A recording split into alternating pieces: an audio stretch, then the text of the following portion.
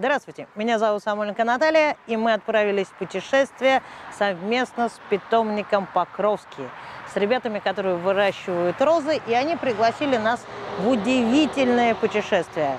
Мы с вами побываем в частных садах, а сейчас мы находимся в эстонском питомнике растений. Здесь помимо того, что э, можно что-то приобрести и посмотреть, как это выращивается, здесь достаточно интересный арборетум.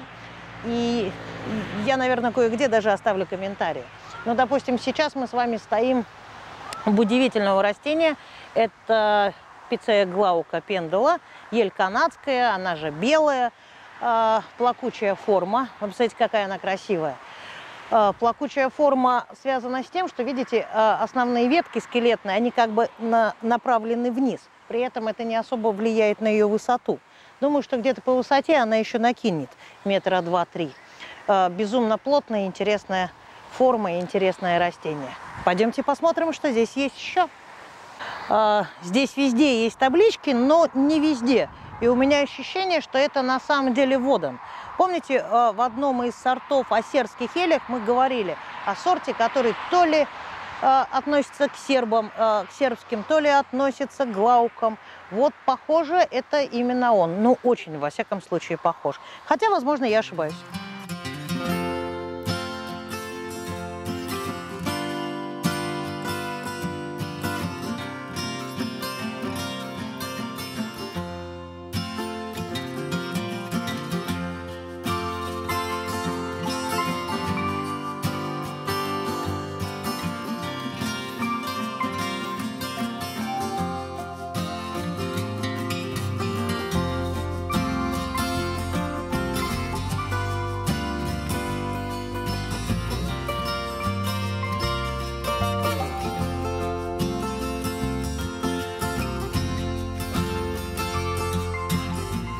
А, у нас был сюжет про эту елочку.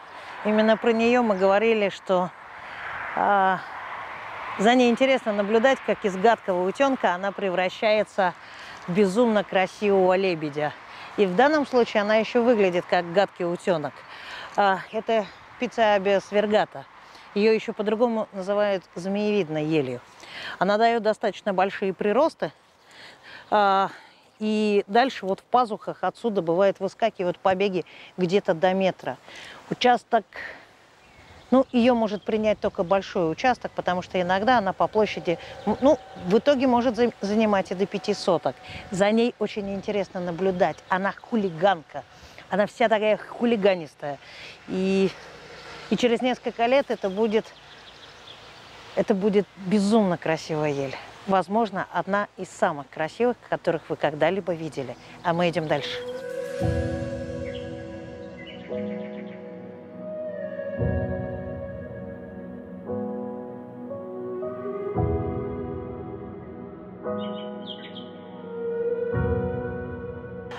вот этот кусок арборетума, он посвящен а, тем растениям, которые неплохо себя чувствуют в кислых почвах. Даже обратите внимание, это подчеркнуто, а, бордюр сделан из кусков торфа. Здесь, естественно, верески, здесь абиесы, еле европейские, здесь очень много гортензий, Э, естественно, рододендроны. И причем э, можно даже, если э, внимательно пройтись и посмотреть, здесь помимо вот этого выставочной площадки, здесь фактически я вот стою на чистом торфе. Можно посмотреть, что себя хорошо чувствует на кислых почвах, а что считается, что будет чувствовать на кислых почвах хорошо, а на самом деле это не так. К примеру, здесь пытались высаживать колючие ели, и им здесь очень плохо. А вот абиасы чувствуют себя просто великолепно. А это вот как раз колючая ель. Очень часто пытаются ее посадить совсем в кислую почву, и, как видите, ей это не очень нравится. Причем это не то, что сюда высадили э, два сторожка умирать. Э, если пройтись по всей территории, то можно будет увидеть, что там, где они сидят в сильно кислой почве, им не очень хорошо. Вот. Все-таки не надо забывать, что они родом Северной Америки, забираются высоко в горы, а там грунт не всегда кислый. Но тем не менее, это тоже очень интересно.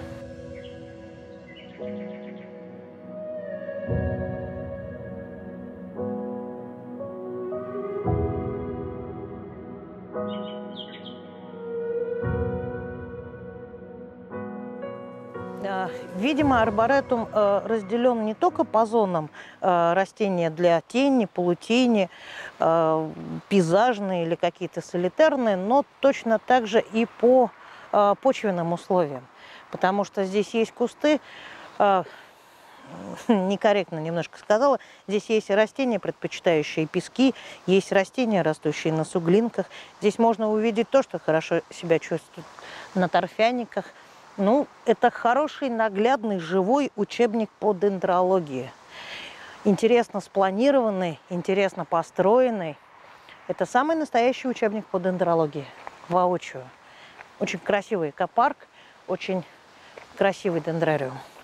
А вот это растение мы не сразу к нему подошли, а издали очень долго гадали, что это такое. То ли это не распустившаяся до конца лиственница, то ли э, это мелколистный вяз, а оказалось это таксодиум. Представляете, я думала, на нашем континенте они не растут. Ну, во всяком случае, в Ленинградской области и в Прибалтике. И вот. А сейчас мы подходим к уголку, где представлены растения для тенистых мест, для полутени и тени. Посмотрите, какие шикарные папоротники. Посмотрите, самая красота, когда лист раскрывается. Сейчас вы увидите рододендроны. И одну вещь, которую я вам покажу, именно из-за нее можно было сюда приехать. Я сделала для себя одно маленькое-маленькое открытие.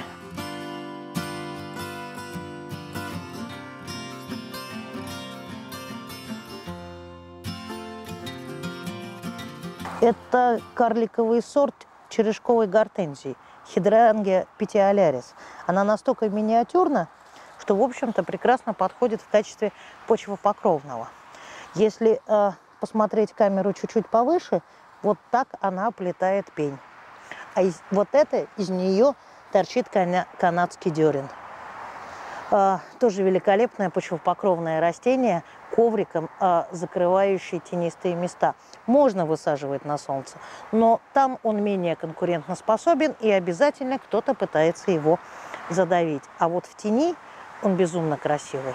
Вот он зацветает, цветок абсолютно простой, а, четыре лепестка. Сейчас он зеленоватый, потом будет белый, а в итоге будут красивые, крупные красные ягоды. Правда, безобразные на вкус. Но, насколько помню, не ядовитые. С нами в поездку поехала основатель компании «Ландшафтная Эрика» Оля.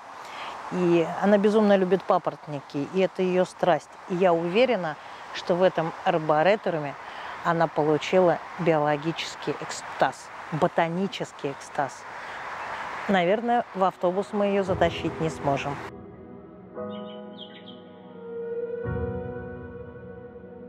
Помните, у нас был хит-парад ели обыкновенный, и, по-моему, на первое место заняли новые сорта, которые были с красным приростом. И мы тогда как раз говорили, что они красивые, но в течение недели. А дальше, в середине лета, это просто обыкновенная елка. Так вот, посмотрите, переходный возраст от ярко-красивого красного, как шишка, к зеленому, ну, создается болезненное впечатление. Можно а, показаться, что она болеет. А на самом деле это абсолютно нормально. И это самые модные сорта.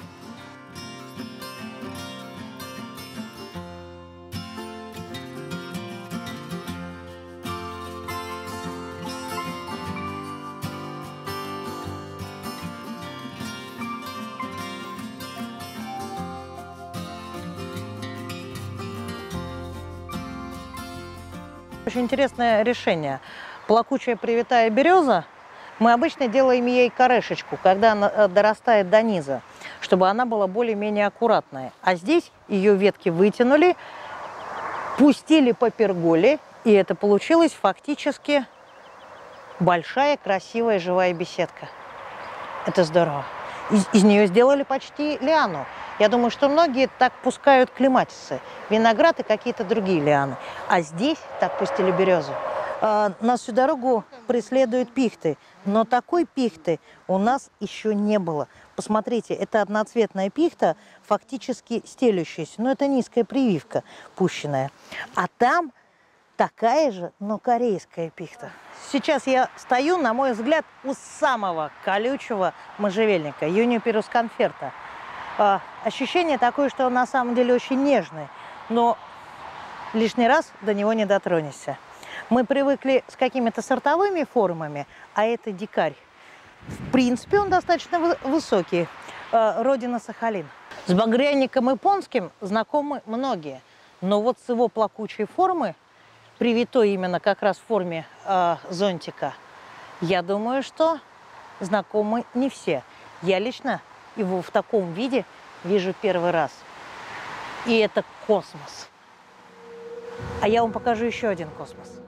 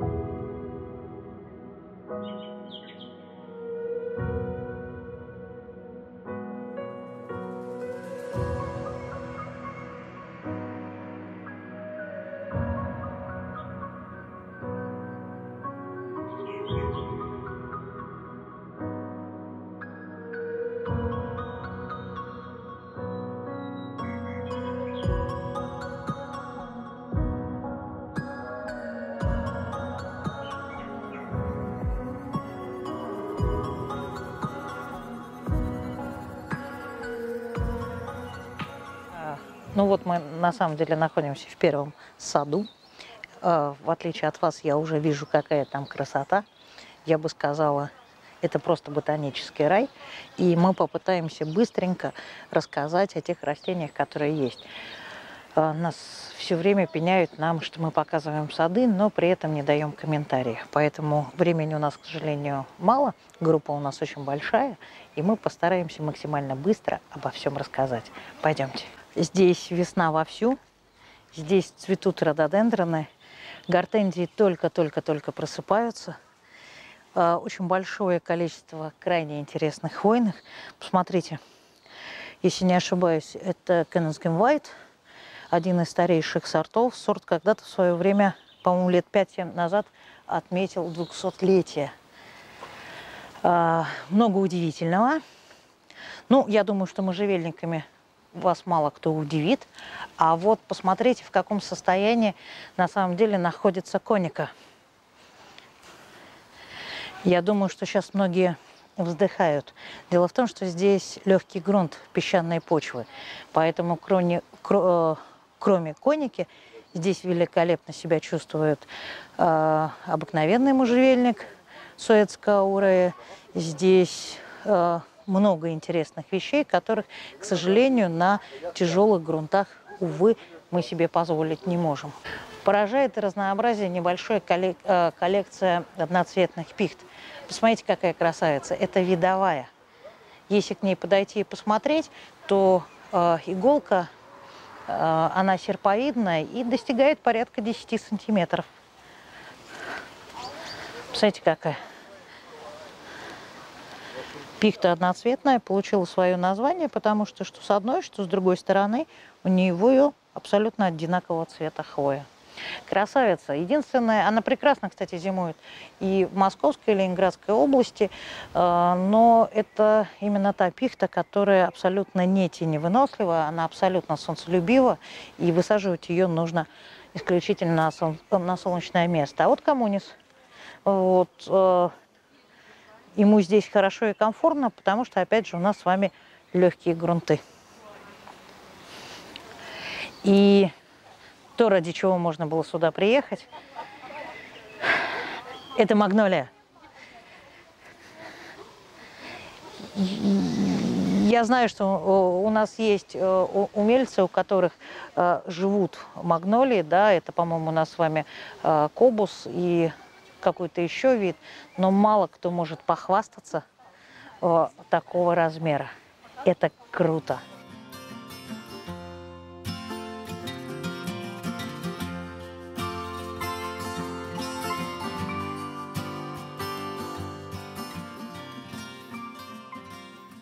Посмотрите, какое чудо. Это крушина.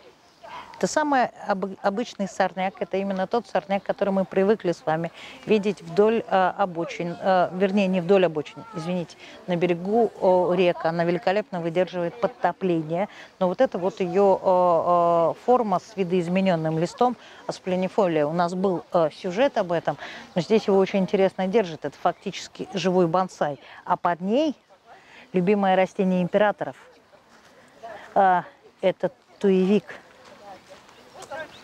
одно из старейших растений, которые, в принципе, существуют. Говорят, оно вместе с тисами видело динозавров. А вот это, если я все правильно поняла, то вот такого размера здесь э, либо это без, бесподобно чувствующий себя э, блюкапит, но вообще-то он по ветвлению похож на блюстар. Если это так, то это первый в моей жизни блюстар, достигший такого размера.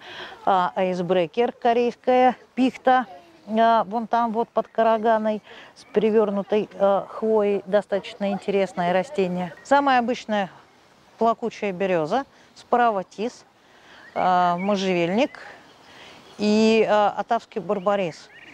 Я представляю, сколько хозяйки этого участка приходится поливать эту композицию, потому что ну, тис все-таки предпочитает влажные почвы, а береза страшный водохлеб.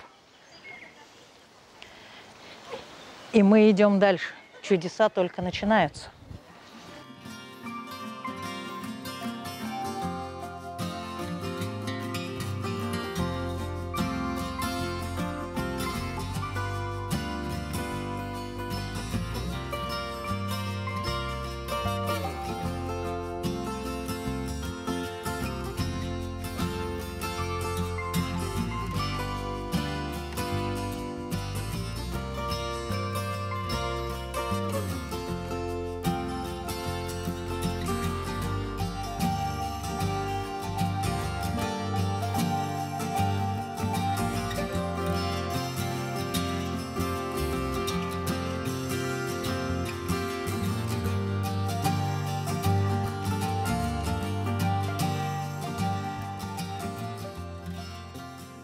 Если почитать справочники и литературу, то вы обнаружите, что любой плохо зимующий можжевельник пытается отнести именно китайцам. китайцам пытаются отнести стрикты, блюстары. Все, что вызывает э, какие-то проблемы, обязательно э, обвиняют во всем китайский можжевельник. Вот на самом деле китайский можжевельник по структуре вот именно такой. Вот это вот классический китаец. И к блюстару он не имеет никакого отношения. Но во всем виноват Китай. Tower. Поклонников, это для поклонников черных сосен. На переднем э, плане фастигиатная Tower, а на заднем, похоже, это видовая. Рядом спиралис. А слева, скорее всего, какая-нибудь санкист. Ну и, как всегда, смарагд. Без него достаточно сложно обойтись.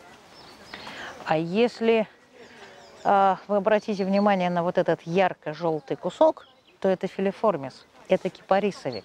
Между прочим, этот вид кипарисовика отлично зимует и у нас с вами, великолепно себя ведет. Он невысокий, вот, но не, э, не подпревает, не капризничает, не вымерзает. А если повернуть э, камеру а, от него вот рядышком направо, да, то это э, складчатая тоя. Это випкорд, взрыв на макаронной фабрике. Есть такой вид у западной вот. А в данном случае это складчатая. Неплохо себя долгое время показывала, но зима пятилетней давности доконала все складчатые туи и все вип-карты в, в Ленобласти. Посмотрите, как цветет айва.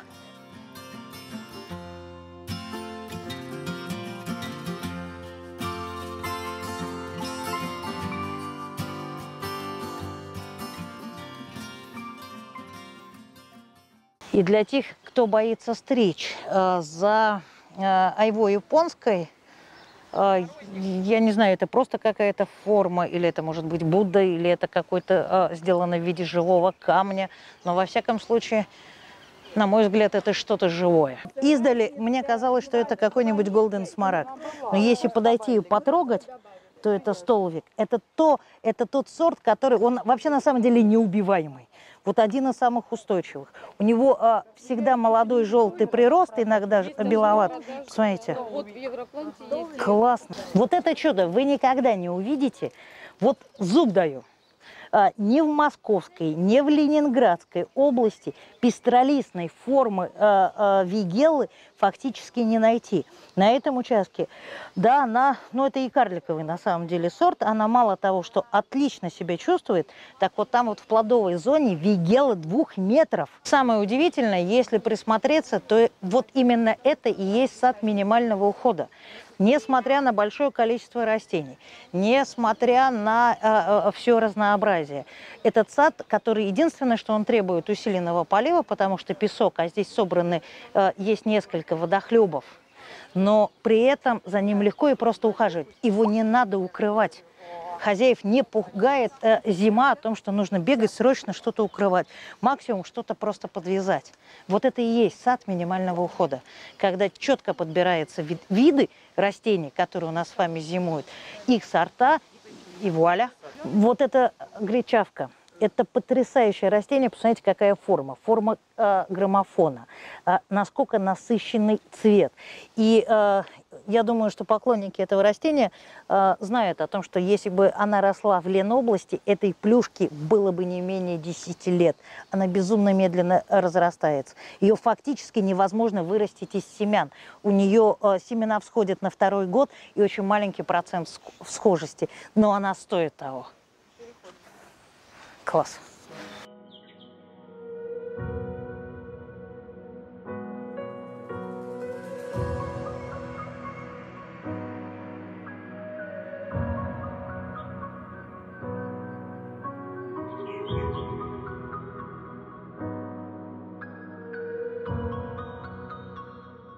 А вот это та самая большая вигела, о которой я говорила.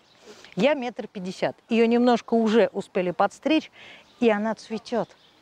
И она отлично себя чувствует. И нету признаков подмерзания. А перед ней шелковица. Вы представляете? И это все, еще раз повторюсь, сад минимального ухода. Потому что нету растений, воткнутых просто в газон. Потому что все идет в группах. Это именно то, что позволяет вам восхищаться своим садом, а не быть его рабом.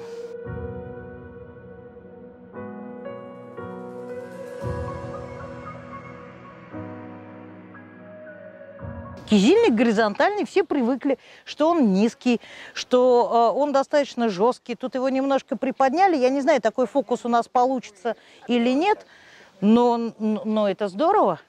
Ну, правда, вот такой опыт э, в Ленобласти, я боюсь, что приведет к тому, что все, что приподняли, все э, с, с, смерзнет. Но почему бы нет, можно пробовать. Может, именно у вас на участке тот самый волшебный микроклимат, который есть. Катерина, мы хотим вас поблагодарить а что, уже? Нет, я просто пока мы тут все собрались, а? значит, я смотрю, что вы там начали а, делать розарий. Ко всем по.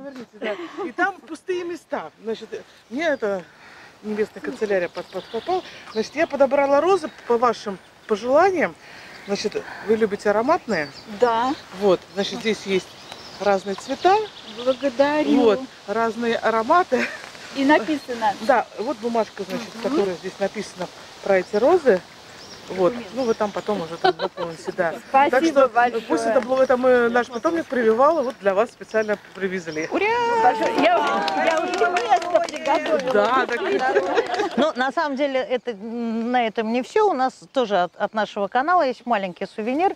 Вот, мы решили, что вот эта вот милая девушка с, с атрибутами чижика, пыдика, пыжика, да, вот, а, она полностью соответствует атмосфере вашего сада, вот, и э, Спасибо. Это будет такой маленький да, домовенок. Это, да, ангел, который будет да. помогать охранять да. сад. Спасибо, Спасибо вам огромное, у вас потрясающий сад. К сожалению, пребывание в этом замечательном месте подходит к концу. Нас ждет еще много что интересного. Большое спасибо хозяйке. И я надеюсь, что э, все, что мы сегодня увидим, и все, что мы увидим завтра, э, оставит такое же приятное и теплое ощущение, как этот сад. Спасибо и двигаемся дальше.